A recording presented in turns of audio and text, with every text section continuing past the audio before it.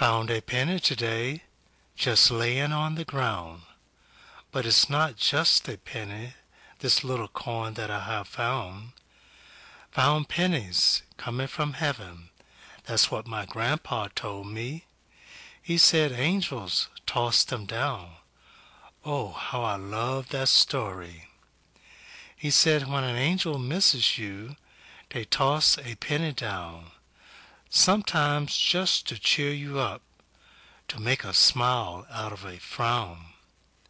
So don't pass that penny when you're feeling blue. It may be a penny from heaven that an angel tossed to you. Peace be with you.